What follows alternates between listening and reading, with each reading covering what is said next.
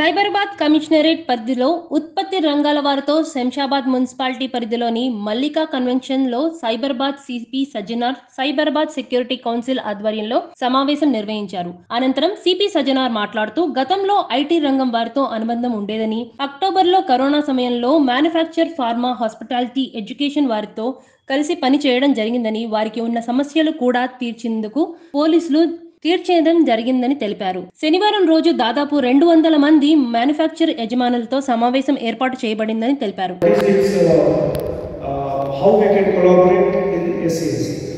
So, as part of SESC, see, we have seen during COVID also that many companies, individual companies used to approach to us for passes or for lockdown passes, etc. So, it was an informal interaction. For example, if I told you I to get passes, I told you I. So, it was just like informal and nothing formal in that. But if you have a forum like this, then there is a space for industry also, for manufacturing industry also, to speak to the different government departments. And uh, there will be uh, no space for informal, it will be all in a formal structure. And it will be very easy to make your request. Also, the, as part of this SCSC, this uh, quarterly meetings will be there. Every three months there will be a meeting. So in that the members of SCSC can put forth their views, any concerns they have with respect to uh, security or safety of your employees, etc. Such interactions can happen if you are a member of SCSC. Then జరిగింది Covid సమయంలో మనం IT industry కాకుండా manufacturing pharma industry health care hospitality education వాళ్ళందరితో కూడా interact కావడం జరిగింది. వాళ్ళందరూ కూడా వేరే ఇష్యూస్ ఉంటే అవన్నీ కూడా మనము సాల్వ్ చేయడం జరిగింది.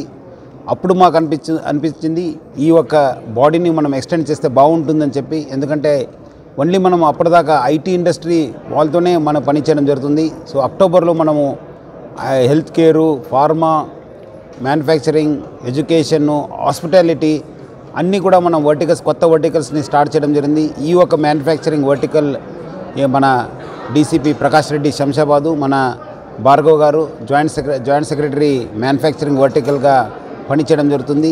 ఈరోజు ఇక్కడ మనము దాదాపు రెండు వందల మంది ఇండస్ట్రీస్తోని మ్యానుఫ్యాక్చరింగ్ లీడర్స్తోని మీటింగ్ పెట్టడం జరిగింది. చాలామంది ఆసక్తి చూపించారు ఈ యొక్క మెంబర్షిప్ తీసుకోవడానికి. మెంబర్షిప్ కావడంతో చాలా ఇష్యూస్ చాలా బెనిఫిట్స్ వాళ్ళకి వస్తుందని చెప్పి మనము చాలా వివరంగా వాళ్ళకి చెప్పడం జరిగింది.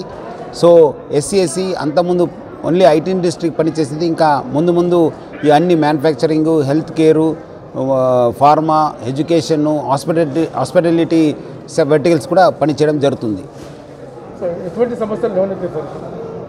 ఇండస్ట్రీకి చెందిన సమస్యలు ఉండొచ్చు అది ఉమెన్ సేఫ్టీ కావచ్చు మన ఫిజికల్ సెక్యూరిటీ కావచ్చు ట్రాఫిక్ ఇష్యూస్ కావచ్చు లేదంటే ఎంప్లాయీస్ రిలేటెడ్ ఏమో ఇష్యూ వచ్చి కూడా అది మనం సాల్వ్ చేయడానికి అదేవిధంగా ప్రభుత్వ దృష్టి కూడా కొన్ని విషయ ఇష్యూస్ ఉంటావు అది కూడా తెలి తీసుకెళ్ళడానికి ఈ ఒక